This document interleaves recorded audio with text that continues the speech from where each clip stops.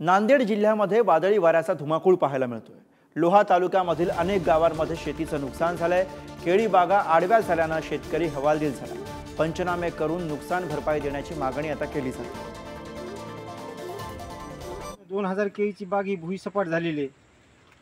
आणि आजच्या घडीला तर पाहिलं टेम्परेचर बहुत आमच्या इकडे जास्त होतं. कमीत कमी बेचाळीस त्रेचाळीसवर तापमान गेलेलं आहे सर.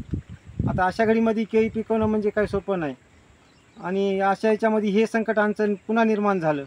आता करायचं काय? या शेतकऱ्याचं प- ताबडतोब पंचनामे करून सरकारने याची काय दखल घेता येईल तेवढी घ्यावी. आमची आमची एवढी विनंती राहील. एकतर सोयाबीनला भाव नाहीत.